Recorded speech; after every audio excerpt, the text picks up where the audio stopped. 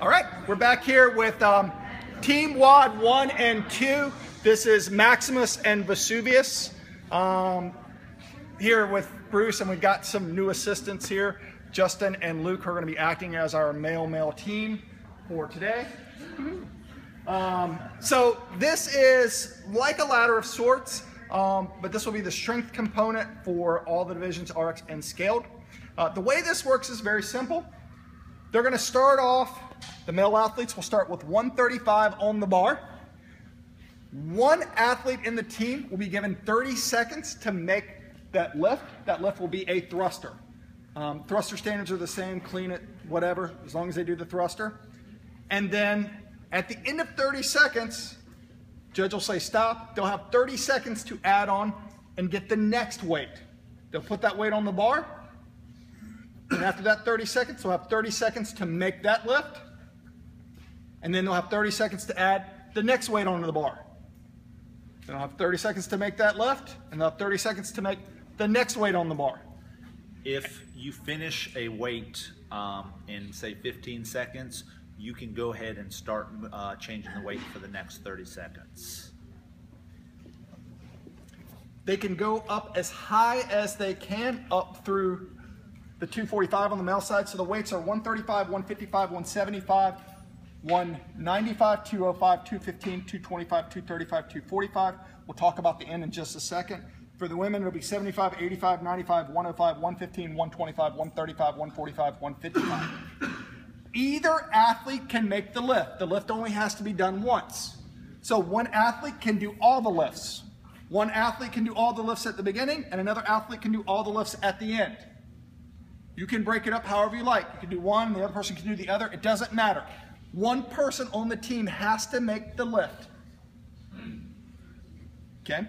If you make the lift, then you add the weight and go to the next one. If you make it to the end, you'll be given 30 seconds to put the most amount of weight that you can make on the bar and go for it.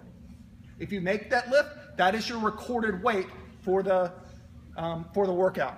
If you don't make that lift, then that will be your recorded weight for the workout.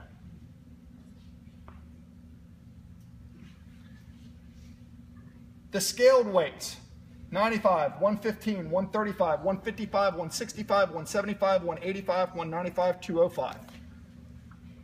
Scaled females, 35, 45, 55, 65, 75, 85, 95, 105, 115.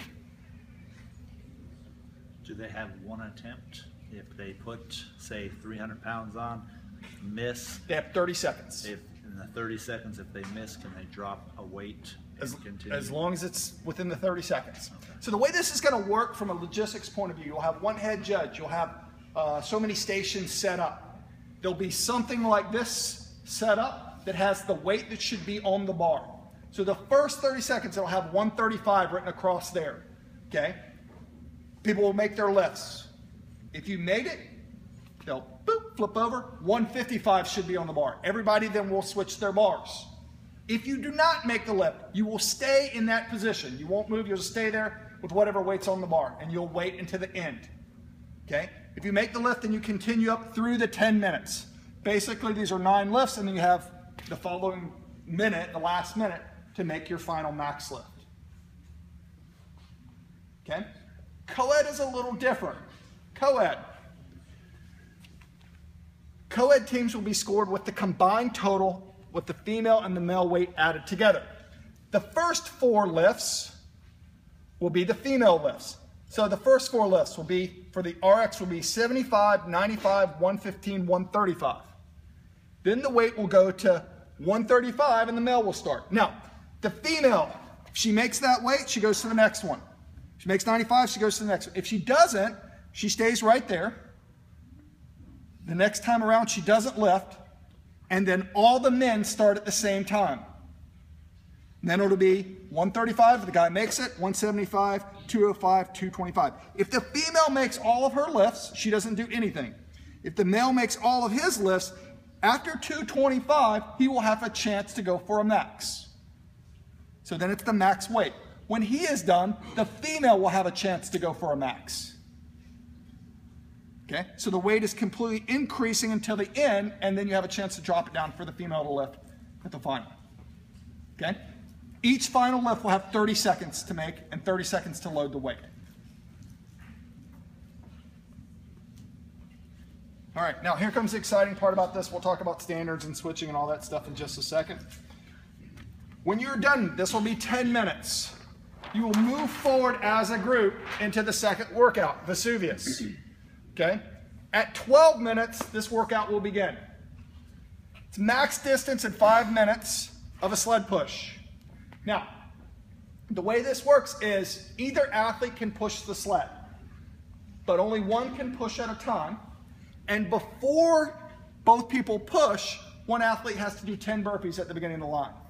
So if you've got a big line set up, you know, in between the distances, one athlete has to do 10 burpees, one athlete can start pushing. When the athlete is done with 10 burpees, they can catch up and assist with the other athlete pushing.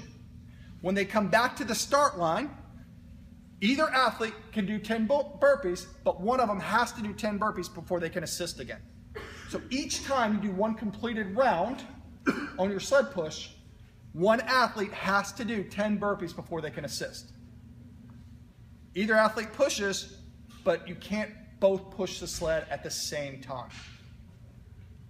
All right? Now, at the last round, when time is about to end on the five minutes, somebody pushes it 50 meters, 50, uh, 50 feet, and somebody does five burpees. How are you going to score that? Burpees don't count for anything. The only thing is the, the distance the sled moves. So the last set, as long as they're not completed, um, the burpees don't matter. Burpees don't matter. Yep. But they can't assist with the other person pushing the sled until they've done the burpees. So, yeah, the burpees don't matter at the end. Question about that. When you split up the burpees, or does the same person have to do all ten burpees? Same person has to do all 10 burpees. So the question was, can you split up the burpees? No. One person does it. Now, here's the thing. That same person can do the burpees every time. Or you can